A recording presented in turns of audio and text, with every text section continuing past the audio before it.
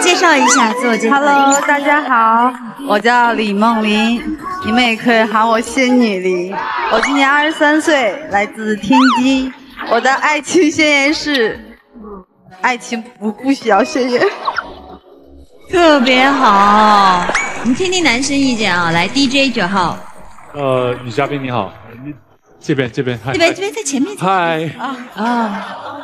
呃，第一次感到这么没存在感，这么大一，不好意思，不好意思，不好意思，没关系，他太紧张了。对对，没关系。我觉得他真的好瘦哦，我觉得我这个身材站在他旁边应该是美。你也有三个可能。美女与野兽的感觉。也不像他站着感觉一下，真的。可以吗？你可以啊。嗨，你好。哇，这个，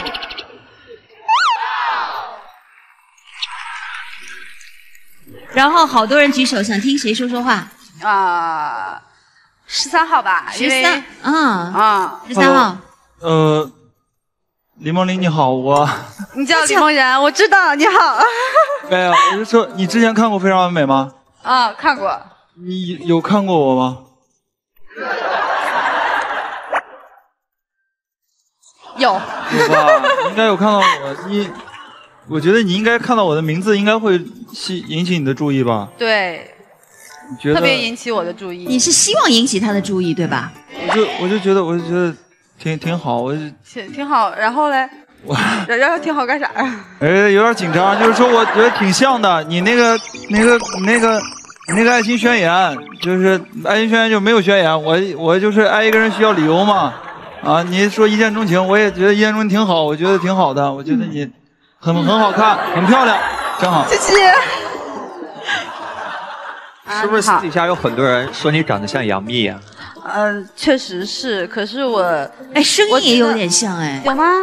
就是没有没有没有，不是说真的像，就那个说话那个状态跟感觉。我不配，我觉得杨幂太优秀了，我不配。所以你刚刚说你自卑是吧？对。哎呦，非常自卑。来，接下来梦玲，那我们看看你的心动不心动，好不好？上前两步。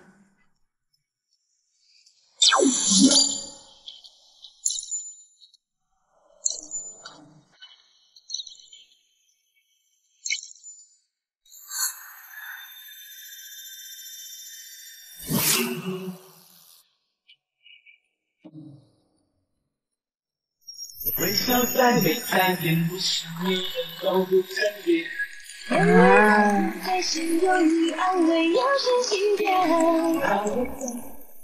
接下来来选择一下你的不心动。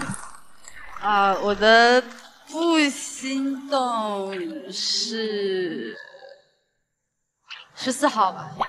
十四号。因为我不太喜欢十四号这个数字。哦，这个嗯，那还好，还好。嗯，接下来我们再通过关键词来了解一下女嘉宾。别问，小哥哥再次再次出发不容易，可以选择举手，男生向你提问。我好。我想问那个别问，你会不会叫我别问？啊，这我都上面写着不要问了，还要问。这个别问，其实呃。就是搞得我的人生还挺挺挺难受的，因为我有两两段特别不好的感情。我的第一段就是我们两个已经分手了，他打电话给我说：“那个小玲玲，我这有急事要急用钱，你能不能先把手头里的钱和车都押给我？”然后。当时就是他跟我哭嘛，其实当时我就心里就软下来了，因为我们已经分手很长一段时间了。是。然后我就把钱打给他了，之后就没有之后了。嗯。就我的钱也没有了，就之后就没有之后了。嗯。然后第二段感情是，他居然就是他们家里人调查我们家，然后而且他还看我的银行卡余额。让我最接受不了的是，他们两个共同给我戴上了一个挺特别的绿色皇冠。啊，就是我用真心我对他们了，然后我我没有看到，我没他他们没有我没有看到回报，就我一直在付出，然后并没有回报，然后搞得我心情就前几个月就是心情就落到低谷，基本上就是嗯，就是我的体重直线下降，然后到七十七十三斤。那就送你一句话吧：What doesn't kill you makes you stronger。你这句话可能需要跟他说的再清楚一点。我帮翻译啊，就是那些没有把你击垮的，只能会让你更加强大，是这个意思，大概是这个意思吗？请问他刚刚说的是？对，所以我来了，所以我站在现在站在这里。是尹尹康好懂你哦，他不仅立刻就懂了那个中式英文，然后还我懂的是他，啊 我懂的是他。这两这个男朋友谈了多久时间啊？一年，呃，另外一个是三年吧，不到三年。哦，时间很长，倒是还好。因为他如果时间很短的话，我真的怀疑你是不是遭遇仙人跳了。对，所以我他们，所以我身边的朋友都说我就是没头脑、无智商。那就这样问，就是你当时爱上这两个人的原因，最主要的原因是什么？对我好，他们对我超级好。就是我的第一任啊，嗯，我早晨起来六点钟要去上学，嗯。他四五点钟起来，然后给我切水果，然后给我送到我们学校门口，反正就是特别非常对我特别的好。然后我的第二任就是，他说过一句，他说过一句话，他说小玲玲这辈子可能就是你的父母可能有一天会离开你，你弟弟有一天可能也会离开你，但是我。我肯定是那个不会离开你的那个人。他这句话跟我说了三四遍，我全都信了。结果在你困难的时候转身就离开了。对，然后，然后我我自己一个人，我都觉得那段时间我好像是神经病，我真觉得自己神经病，因为我就是不吃饭、不睡觉。因为首先一个，我觉得我对不起我家里人，我还不听话，然后我觉得我遇到真爱了，然后他转身他就走了。加油，加油！哭了，哭的那一瞬间，我特别的心疼，我是有一种特别想保护他的一种欲望。下雨也是你。来来来，颁奖的纸巾来了。四季冷暖是你，说完，如我所知。夜啊，当然，可能在你这个阶段或这个年纪，要真的找到确实的原因也比较难。唯一我们希望的比较切实有效的方法，就是接下来你有没有可能遇到一个真正的好人，对能够帮你修补之前的伤痛，对并且帮助你成长，对，是吧？所以希望今天小玲玲能够在我们的现场收获幸运。所以接下来各位男生先做出你们的决定，完美告白，为爱而来，请做决定。非常完美，由高端香氛洗护领导品牌阿道夫家里出，爱的味道一辈子不变。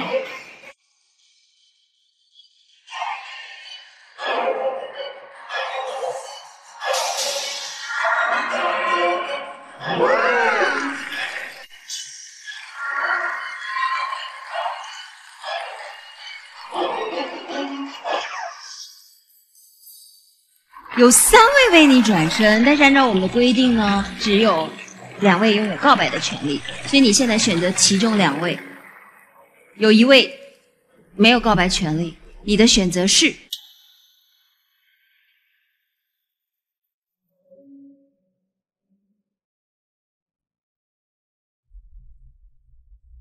嗯，十二号和十三号。啊，谢谢四号，有请十二号、十三号。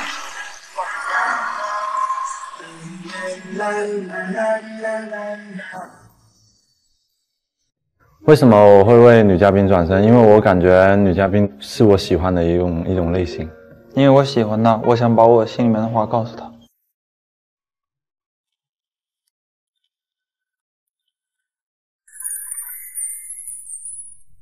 还有女嘉宾你好，Hello，嗯，刚刚你一出来的时候挺吸引我的，不过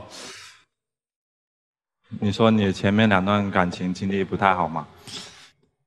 我在想，就我可以去为你的以后的路做一盏明灯，然后我可以做出的承诺是，你以后头上的王冠是一个真正的皇冠。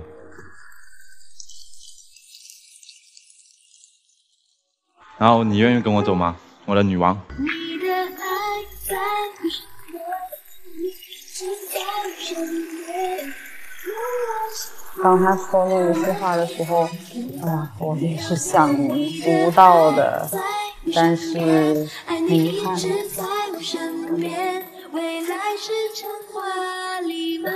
首先，谢谢你，就是谢谢你跟我说了那么多，然后不好意思，还没有到时候，我今天来其实就是有情绪在目标的。酝酿中，平静的接受，不奢求。不好意思加油加油加油加油我们举杯问候，从朋友到一直我我，你，我我本来想了一堆话想跟你说，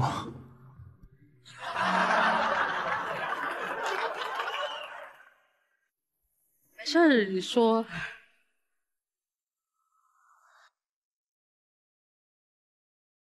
李梦然，李梦玲，其实我想说，对不起，我不在的这些年让你受苦了。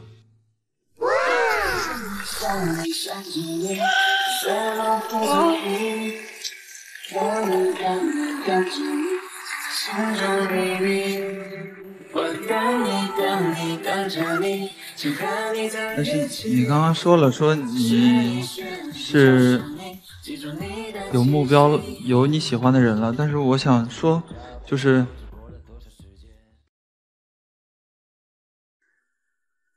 哪怕就是你不会喜欢我，但是我也想告诉你，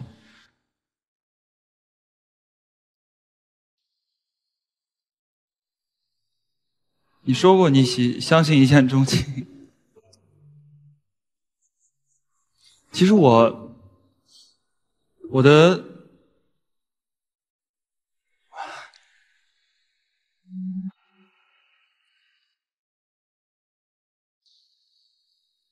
我觉得一见钟情是出现在电影里、对，电视剧里的。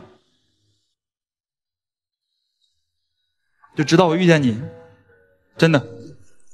你刚刚谈到你前前面两段恋爱的时候，你你哭了，我我的眼泪就在眼圈里打转，真的。我觉得我我特别心疼你，我觉得我觉得我特别对不起你，是我来晚了。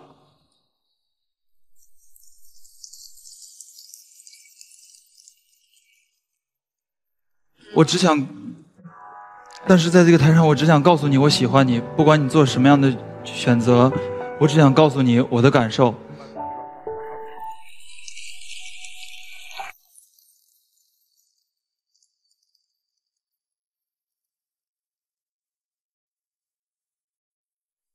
对不起，我不在的这些年让你受苦了。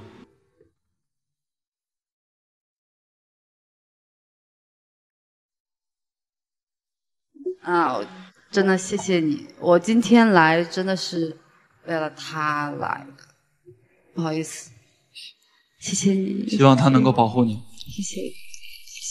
还没有到时候，就差那几分我心里面意料到了，但是即便没有结果，我还是想告诉他，我喜欢他。我还是很感动的，我还是挺感动的。然后，可是我还是喜欢你。接下来就是你和他的时间，专门为他来，要做什么样的准备吗？啊，我想就是准备一下，我给他一个惊喜。好。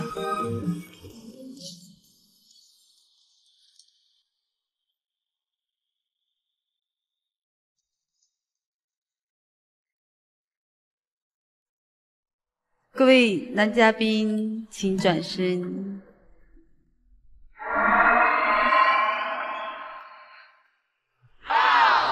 啊，三号尹康。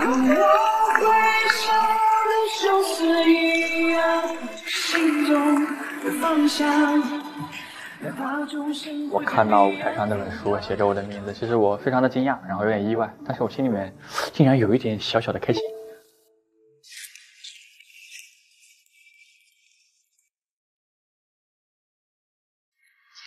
我还没有跟人表白过，所以 放轻松点没关系。所以，所以我有一点，有一点紧张，有一点害羞，还有一点不知所措，然后也不呃不不不太敢看你。然后我今天看到了《益康》这本书，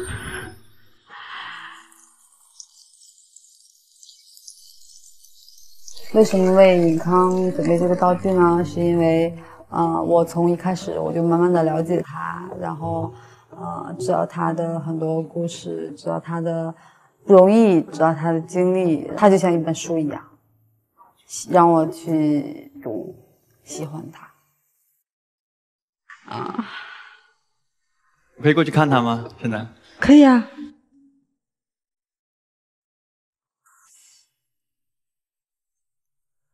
打开了。好。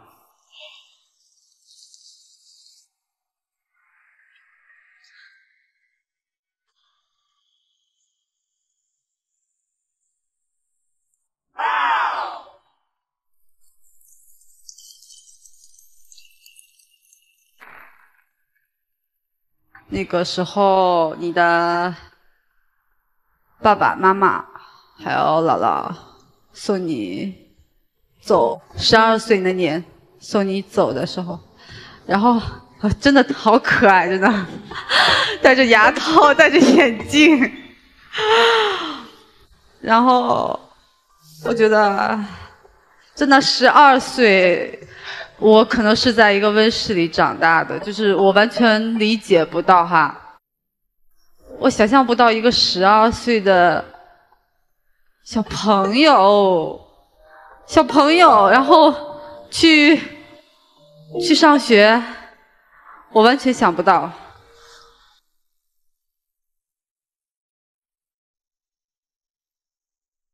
我其实我看到那个画的时候，我其实我就已经。控制不住了，就是因为那个画面是我曾经脑海里无数次出现的一个画面。我怎么说呢？可能很多人会觉得你的出身并不代表什么，可能会觉得啊，不要总是把你从农村出这种出身这种事情拿出来去说。我并不像大家说的那么励志，想着说从小就想着从农村走出来，以后要做出一番事业。在我这个时候，十二岁的时候，我根本一点不想去城里，我一点不想去城里读书，我也不想改变我的人生。我就觉得我在老家那种生活，每天无忧无虑的，我很开心。我记得那时候很清楚，我这个车是从我家门口开走的。我外婆今年刚过世，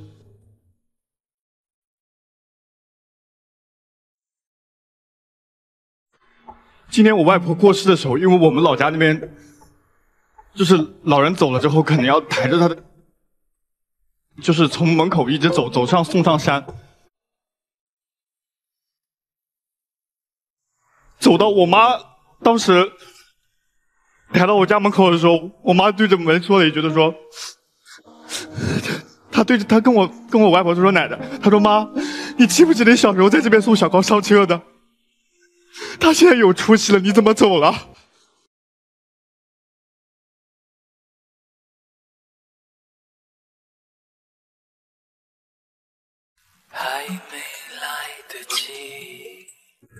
上春天的花，我想说无数次我去城里读书的时候，就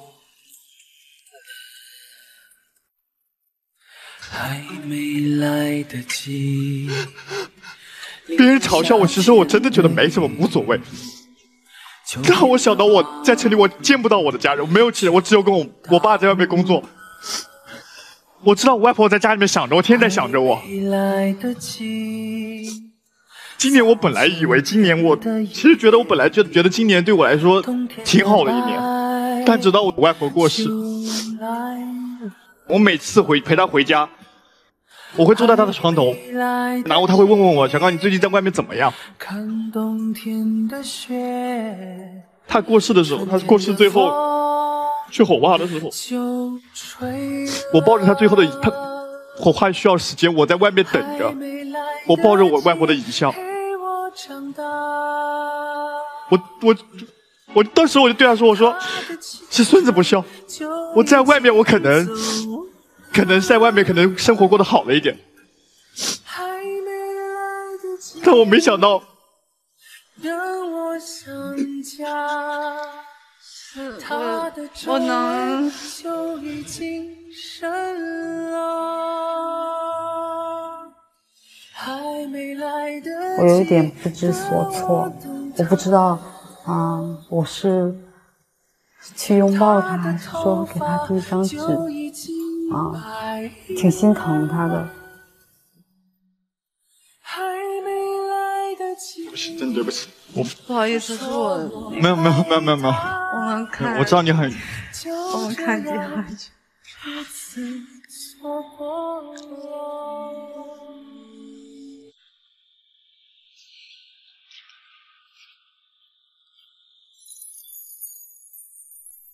这个是你当年在上海的时候，一个人在上海的时候，其实看到你这张照片的时候，我感同身受，因为你现在的这样，就是我现在的这个样子。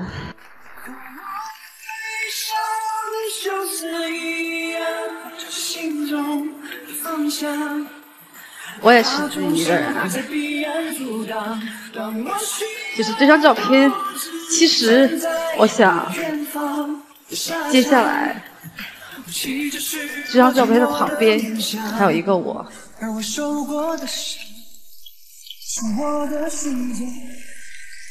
发现我和他之间的共同点就是越来越多。我觉得我跟他还蛮合适的。其实刚才关键词的时候，其实我一直我一直想说，因为我感觉你真的跟我太多地方很相似，被自己的前男友或者前女友骗钱。我当时这个时候是我第一桶金被前女友骗掉了，她是我挣的第一第一桶金，对我来说，这是我从我父母把我培养出来，这是我证明我自己的第一桶金。但是嗯，对，所以说我们两个很像，很像嘛。很像。而我受过的伤，都是我的成长。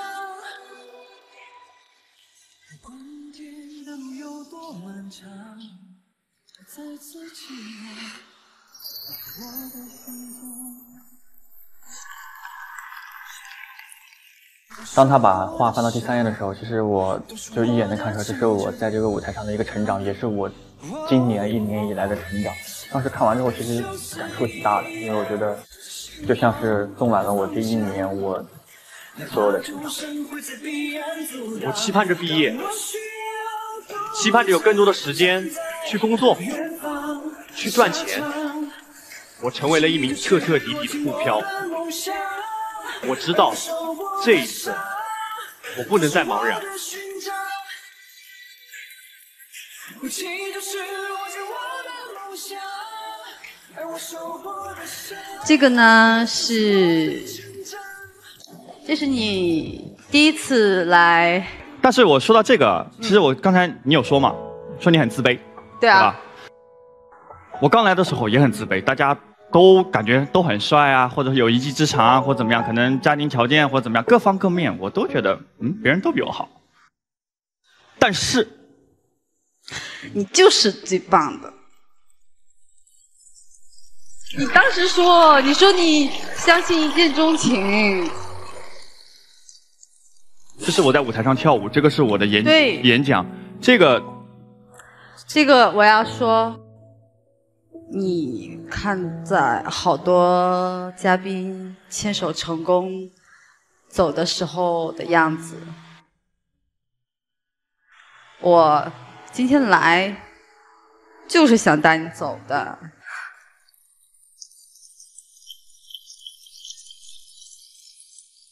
这就是我在非常完美认识他的一个过程。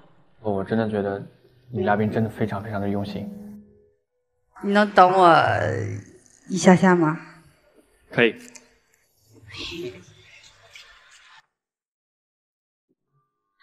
尹康，嗯，你能掀开最后一页吗？可以。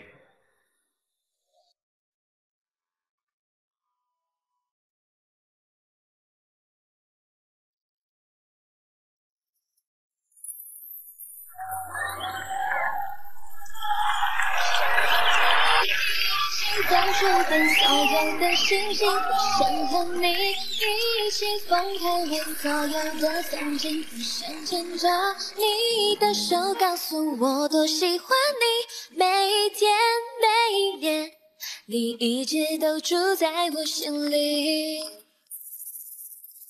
给你传的简讯，已凌晨十二点。最后一页，街角的咖啡店，挂我希望照片，耳朵听你的歌，很甜以后我们的故事。暖暖一整个冬天。我想做你的小仙女，你愿意做我的白马王子吗？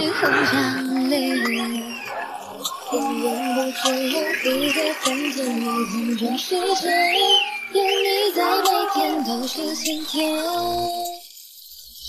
跟他表白的时候，我是非常忐忑的，因为我也不知道他会不会跟我走，然后很紧张，不知所措，不知道，呃，他会不会接受我。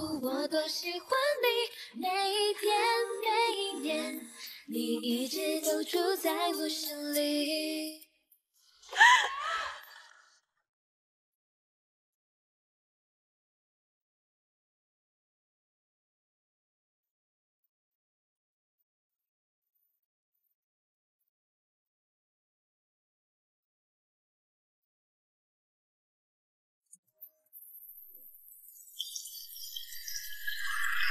我今天看到了，你看这本书，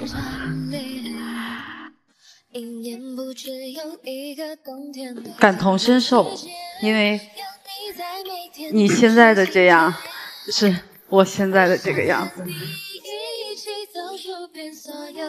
我今天来就是想带你走的。看他站在那里，然后我发现我好像真的心动了，真的很美。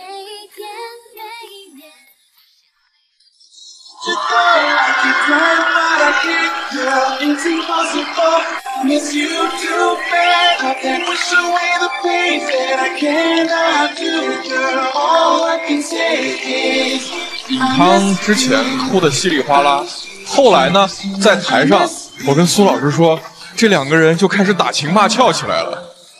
我觉得信任就是你在一个人面前可以掉眼泪，可能两个心里都受过伤的孩子在一起会更懂得呵护彼此，所以我觉得看到这幅画面，我觉得特别美好，特别有恋爱的感觉，一定要好好谈恋爱。